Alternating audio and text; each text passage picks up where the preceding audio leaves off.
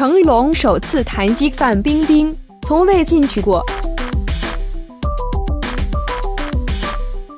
成龙首次谈及范冰冰，从未进去过。近日的范冰冰可谓是运气背到家了。先是因为《八星转》男主高云翔在澳洲陷入官司，导致新剧迟迟不能上映。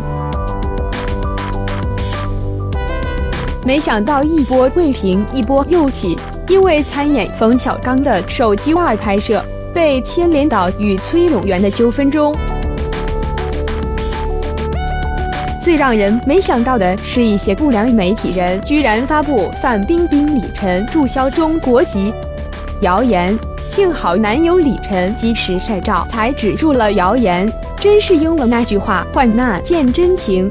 如果范冰冰这件事解决后，一定会迫不及待的嫁给李晨的。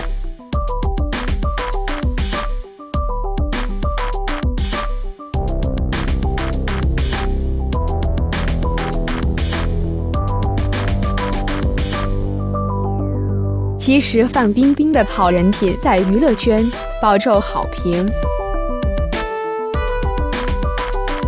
曾经有记者问娱乐圈的大哥成龙如何评价范冰冰时，成龙大哥非常称赞范冰冰，因为早年两人一起拍戏，经常能看到范冰冰给剧组的人送饮料盒，还十分尊重大哥。拍戏的时候不找替身。自己主动完成一些高难的动作。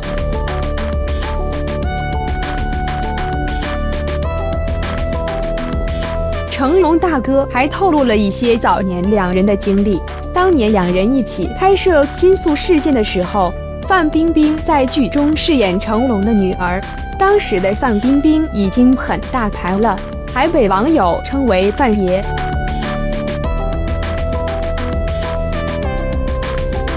但是他对成龙超级尊重，经常大哥大哥的叫。成龙看范冰冰这么努力，就问他为什么这么辛苦呢？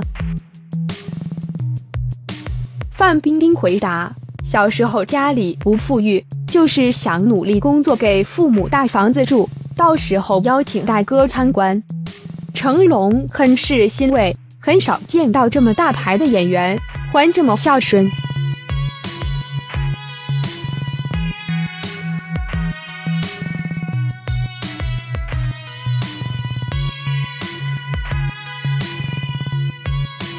当记者问范冰冰买了大房子，邀请你去过吗？